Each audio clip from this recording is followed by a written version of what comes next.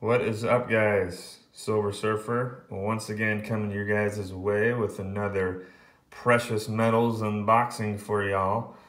This one I once again did the honors of taking all the packaging off. As many of you guys know, I am one-handed in this venture of the YouTube.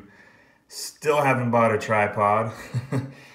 uh, I will in the future. I'm working on it to make a little bit better quality videos, but let's face it, what do we really come here for, right? It's to see some silver, so screw it. You guys will enjoy regardless. Anyways, so what you see down there is what you got. A little unboxing. We'll go ahead and start off with the basics that everyone pretty much have seen already. This is a 2019 American Silver Eagle. You guys ever see these before?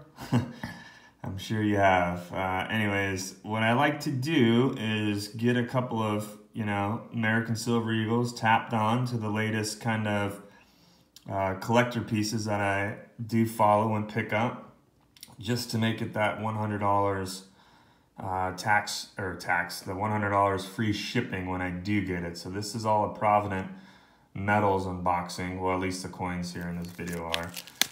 Um, back's got that beautiful seal. Um, anyways, so like I said, I prefer to buy them in a roll or larger amounts when I can afford it and when I am looking to um, uh, just specifically buy that on you know good deals and stuff like that. But I, I'm patient, you know, I'll wait until I get the coupons off of eBay that qualify for those discounts or whatever the case is. Um, but if I'm still buying things, which comes out monthly, like I said, or every other so month when I see different items, such as the Queen's Beast this month, uh, and I want to get it on release price because I've come to know that that's typically the best that I've seen uh, on most of these coins that I follow. So yeah, that's why I'll toss a couple of these in the order and slowly put them away into a tube, which is where these uh, two 2019 are to go. So nice fresh Eagles. Nothing wrong with these ones whatsoever. Moving on with the Provident unboxing, we got the Z-Scene Scrofa, Scrotum, I mean Scrofa. uh, go ahead and zoom in on this guy right here, gal, if you would. This is not the ghost version. This is just a regular BU. It's the one I collect.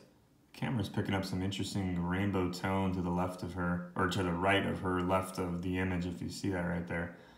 I don't think that's actually on the coin, but kind of cool. Like this design, you know, she's uh, standing out there, this warrior chick. Got a pretty sweet little get up there. Rad sword, kind of looking down like, hey, I'm gonna wield this thing at you if you mess with me. So I like it, I like it a lot. Um, I got into the Chiwu series a year after the first one came out. Unfortunately, because that thing's already shot up to about 100 bucks as the cheapest you'll find it. So uh, this came out another year afterwards, and I do have all of them, and I'm collecting all of them, and I'll continue collecting all of them.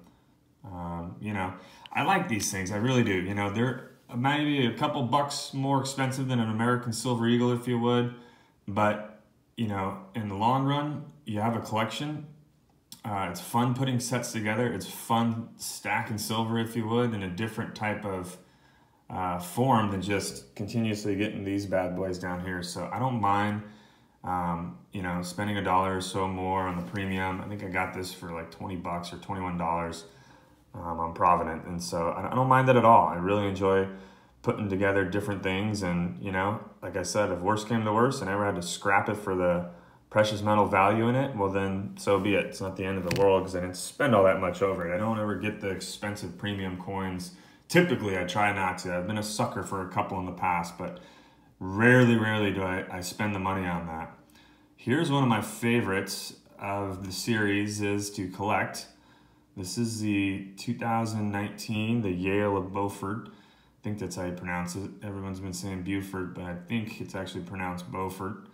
Um, anyhow, it's got this interesting looking beast looking deal on there with some antlers and horns and big old tusk, bunch of warts looking, looking like stuff all over his body pretty rad. I actually like this design. Um, wasn't the biggest uh, fan of the bull or the falcon, uh, but this one's pretty cool, man. And this was a series as well that I jumped in on right when the first ones came out. I was lucky enough to get the, you know, the dragon and griffin and all those, the tiger, and I have every one of them. Um, there's three more issues, one more this year in September, um, and then should be completed by 2020 is what the uh, Royal Mint is showing on their website. So there's the old lady on the back, Queen Elizabeth II. Nicely done, you know. I've also seen a lot of you guys having product quality control issues with some of these big bullion dealers, and I just don't seem to have that with Provident. You know, I've gotten very lucky with them. There's a little little spot over there at the three o'clock position. Nothing to really bother me though. That's not their issue. That's more so the uh, the Royal Mints issue. But I mean, this thing looks solid, dude. Put it in the capsule, as all my other Queen's Beasts are. But I have had issues with other things such as APMEX. Um, I had to actually return uh, my latest gold pickup. Well, I just got the the uh, the return slip in the mail today to do so, so I'm going to go ahead and, and send that off. But yeah, man, Provident, I've, I've been really lucky with. They're my go-to folks. I get, like I mentioned, uh, being military, I get the cheapest uh, price possible when I pay with cash. And so usually it's a really, really good deal. Um, the cheapest I can ever find majority of stuff, you know, from Eagles, bullion prices to everything uh, for the most part. So, oh, glove got stuck here. So that's why I usually go with them. I'll go with APMEX on other items that I can get on the eBay bucks because a lot of it qualifies on there, like some gold pickups and stuff. But um, yeah. All right, and lastly, all right, guys, here it is.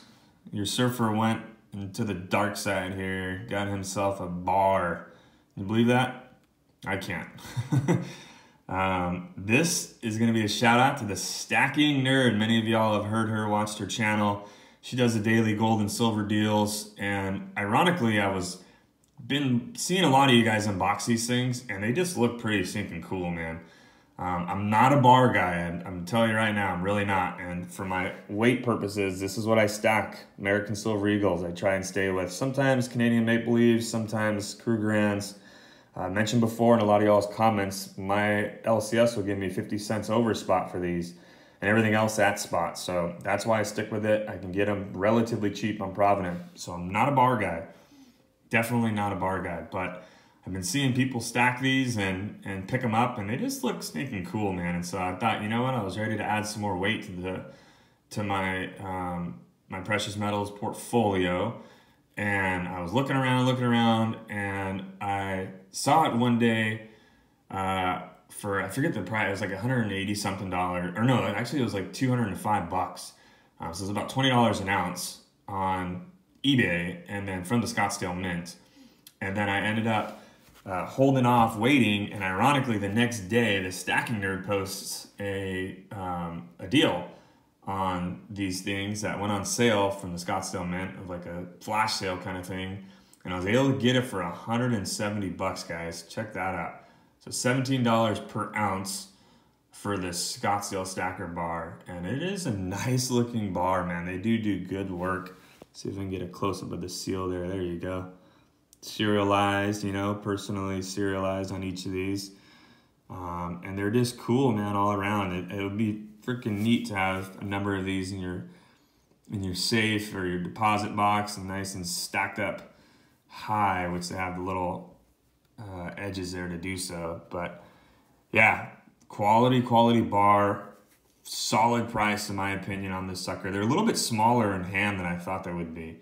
Um, they're not all that stinking big, but they are 10 ounces smushed into a tiny little amount. So it's cool, you know. I'll I'll add it to the stack. I like the lion design that they got on there, and and yeah, so that's that. I'm done rambling.